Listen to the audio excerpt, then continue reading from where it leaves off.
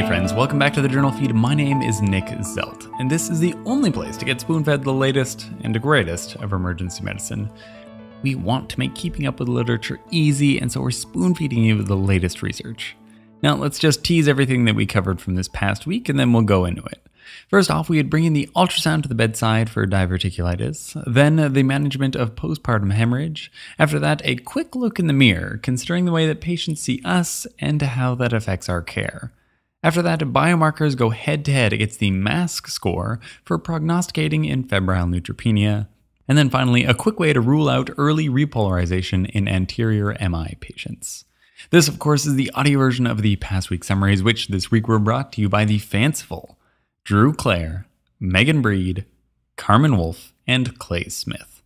So, on our first article, which was titled Utility of Point of Care Ultrasound in Patients with Suspected Diverticulitis in the Emergency Department of the Journal of Clinical Ultrasound. So, patients come in with diverticulitis all the time, and it's probably at the forefront of your mind for any patient with lower left quadrant pain. Part of the reason that it's so common, though, is that it reoccurs commonly. In up to 22% of patients, it can come back. And as far as diagnoses go, I mean, diverticulitis is pretty much on the benign side. But there are dangerous diagnoses that can look a lot like it, so a CT scan is often used to make the diagnosis. If patients are coming in several times for similar things, it's not great for us to be scanning them every time with the CT scanner. So, what about some other options? POCUS does pretty well at diagnosing appendicitis, which is the inflammation of an outpouching of the colon. Sound familiar? Why not ultrasound for diverticulitis as well?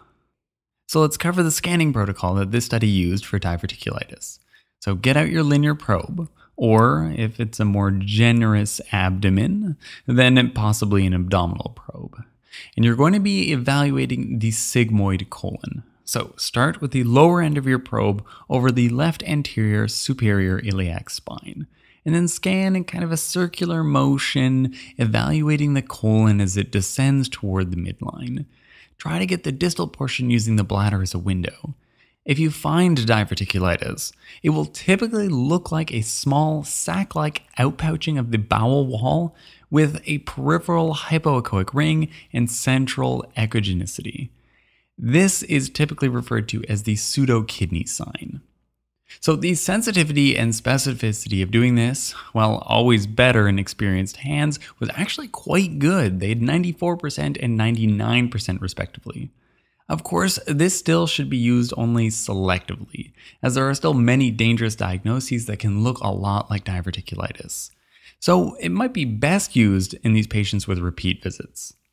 In a spoonful, in patients with suspected uncomplicated acute diverticulitis, ultrasound may be a good first line imaging modality. Then we have the second article, which was titled Postpartum Hemorrhage out of the New England Journal of Medicine.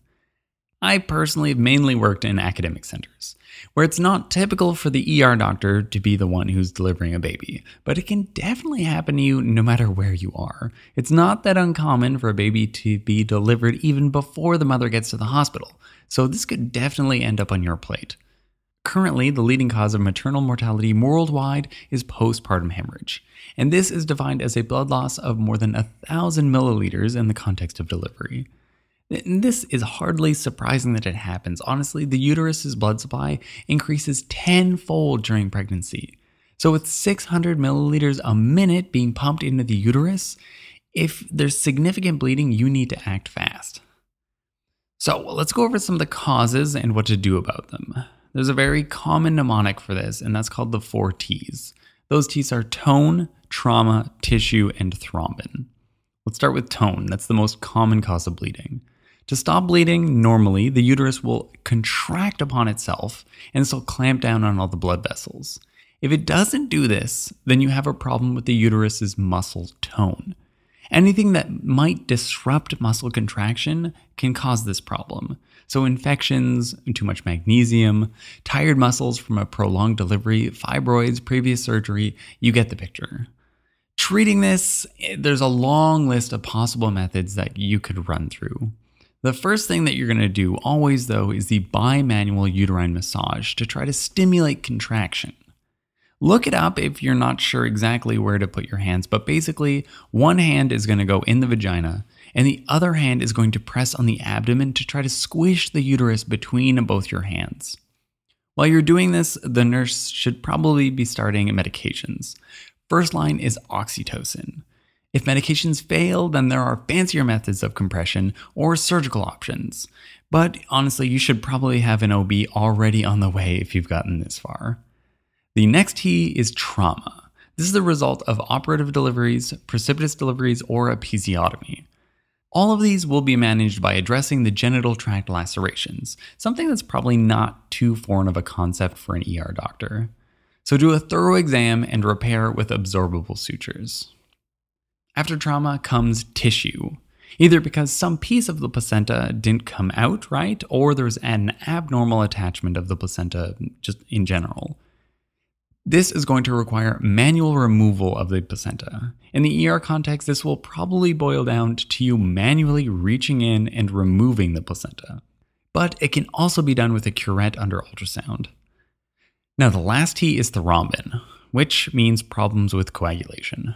Pregnancy patients have a long list of possible culprits. These include things like preeclampsia, HELLP syndrome, placental abruptions, and many more. Address this like you would any other coagulopathy, really. Correct the coagulopathy and then provide robust hemodynamic support. Early cryoprecipitate is recommended to try to maintain a high fibrinogen level. Other than that, transfuse blood products just as normal. In a spoonful, postpartum hemorrhage comes in four buckets. These are called the four T's tone, trauma, tissue, and thrombin. Each has its own management, so it's worth trying to figure out exactly what's going on. And then we have the third article, which was titled Anesthesiologist Age and Sex Influence Patient Perceptions of Physician Competence out of the Journal of Anesthesiology. This may no longer be the case for some of you, I'm afraid, but frequently I get asked by a lot of patients, exactly how old are you, anyways? And it's not really in the tone that I might necessarily appreciate it being asked.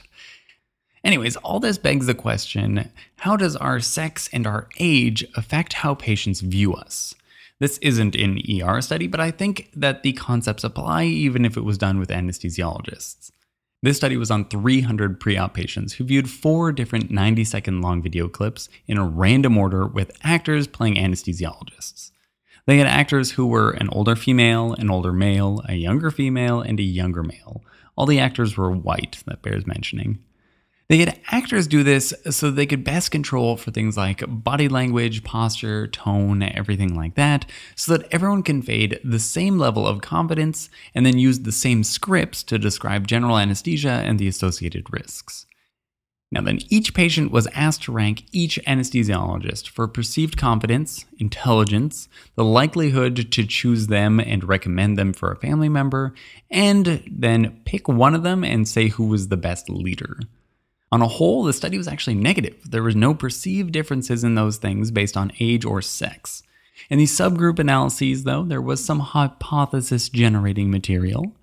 Patients who were younger than 65 seemed to rank older anesthesiologists more highly on intelligence.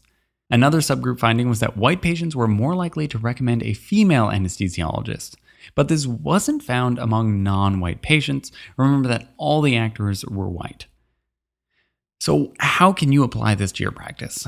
First of all, it was a negative study, so don't worry too much. And then, second of all, I don't really know that you can apply this to your practice because these are things that you can't change about yourself. You can try to have a diverse team and have as many people that might be like the population you're seeing as possible, but either way, it's still going to be luck of the draw which physician a patient's going to see.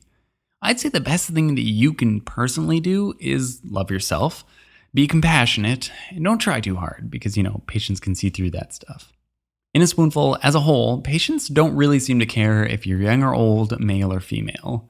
But there's a chance that younger patients think that older doctors are more intelligent and confident, and that white patients are more likely to recommend white female doctors to their family members.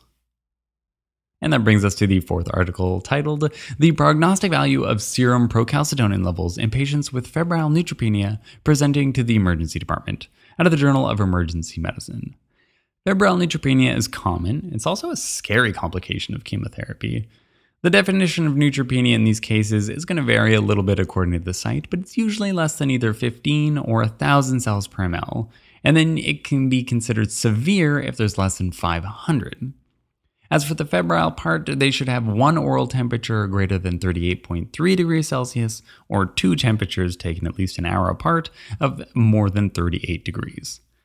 It used to be that all these patients were admitted, but now we know that there are some low risk patients who could avoid, you know, maybe the risk of a nosocomial infection and get to go home. It's identifying these patients, though, that's the crux. So here we have a prospective observational trial of 100 patients to determine the 30 day mortality using the MASCC score, M A S C C, and the subsequent procalcitonin levels were also used to determine the same thing. Most of these patients had hematological malignancies, leaving just eight with solid tumors. All the patients had an ANC less than 1000 and at least a single temperature over 38 degrees Celsius. Now, then, each patient, as part of their evaluation, had the MASCC score assigned, then had blood cultures taken, and had a point of care procalcitonin drawn, all this before starting antibiotics. So, using the MASCC score, there was either 46 or 54 of the 100 patients who were classified as low risk. The article wasn't really able to keep its numbers straight, but, anyways, besides the point. So, if you added the procalcitonin with a cutoff of 1.42, then you can actually improve on the performance of the MASCC score. If you had a high procalcitonin despite a low risk by the MASCC score, then the odds of death were actually twice as high. Funnily, the procalcitonin alone actually performed better than the MASCC score. It had a higher area under the receiver operating characteristic curve, a higher sensitivity, and a higher specificity. At the end of the day, though, I don't think that procalcitonin should replace the MASCC score. And the MASCC score likely shouldn't be the only thing that influences your decision either. Neither score actually did very well at all on sensitivities or specificities, still just around the 60s. So even if procalcitonin did better, it wasn't doing great. In a spoonful, in patients with febrile neutropenia, procalcitonin was better at identifying a higher risk of 30 day mortality or bacteremia than the MASCC score was. And all this brings us to our last article, which was titled Anterior ST Elevation Early Repolarization or Occlusion Myocardial Infarction, out of the Annals of Emergency Medicine. ST elevation in the anterior precordial leads is a tricky thing. It could be a STEMI, which will mean you have to get on your feet and get those STEMI protocols rolling, or it could be something more benign like early repolarization. How you approach these two conditions is obviously going to be drastically different. We can't miss an obvious STEMI, but we also shouldn't waste cath lab activations on benign findings. What we really need is tools to help us pick these two apart. This article was a clinical case out of the annals that zeroes in on some of the subtle clues that tip you off between early repolarization or STEMI. I personally have probably learned everything that I know about early repolarization from Dr. Amal Mattu's videos. The tips of his that I remember are that early repol does not have QRS distortion. That means that it will have an S wave or a J wave in both V2 and V3. Other helpful tips that he likes to quote are that there will be no reciprocal ST depressions, the ST segment should be concave upwards, ST elevation in lead 2 should be more than in lead 3, ST elevation in V6 should be less than 25% as tall as the T wave, and as always, if you're ever in doubt, look at the evolution of the ECG. If you'd like something that's a little bit more scientific, then a validated four point tool actually exists. It's even harder to remember than the things that I just rattled off. So just use MDCalc if you want to apply it. The sensitivities and specificities are quite high. So if you'd like to try it out, we have an example case from Dr. Smith's blog linked via our own blog to his blog. And so that way you can use that example as a low stakes practice to check your conclusions. In a spoonful, ST elevation in the anterior precordial leads can be tricky but there's a validated four point tool to help you if need be.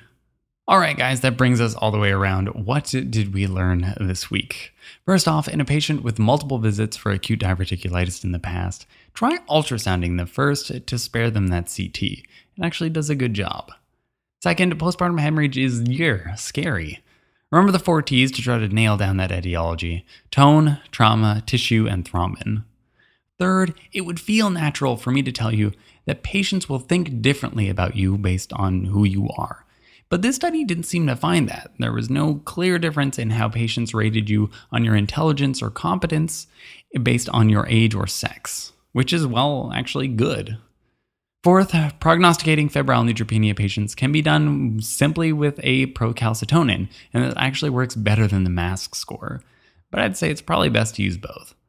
Fifth, instead of humming and hawing over an ECG that you think might be early repolarization instead of a STEMI, try looking it up on MD so that you can better inform your decision with a validated tool.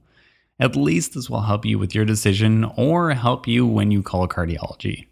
Now then, you've earned them. We offer them. CME credits provided through a partnership with Hippo Education are available to you. You can check out all the details at our website, journalfeed.org. Buying these credits also helps support the blog, and we very much appreciate that.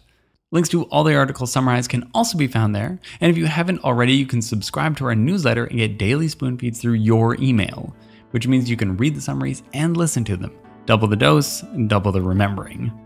Our goal here is to provide better patient care through spoon feeding, and so we're trying to help you keep up with the latest research, one spoonful at a time. Thank you.